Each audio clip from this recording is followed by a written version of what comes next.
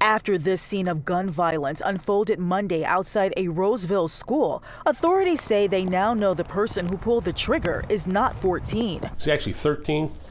We've had numerous dealings with him, so we'll be seeking uh, most serious charges we can.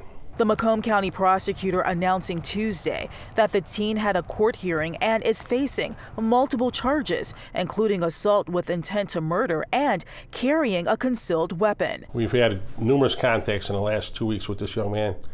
It's tied up considerable amount of resources. The question many are asking is what's driving the violence? The teen's mom calling Fox 2 to say her son is being lied on and then directing us to contact her lawyer, who has not responded to the call. But those who know the shooting victim. He was going to pick up all three of his kids, and uh, the oldest one was approached by the shooter Uh, brandishing a gun, threatened to shoot him, shoot up the car and everyone there. That's when the victim stepped in. So he tried to disarm him, and you know, trying to disarm him, he got away and turned around and shot him in the chest and shot him in the elbow. He took the bullets to save the lives of other kids. Roseville Community Schools releasing a statement Tuesday stating the suspect is not a current student in their district, but officials would not say if that's because the student had been expelled.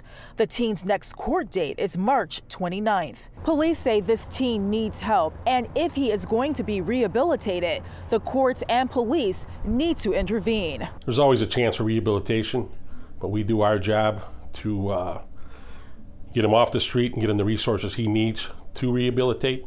And Roseville, Ingrid Kelly, Fox 2 News.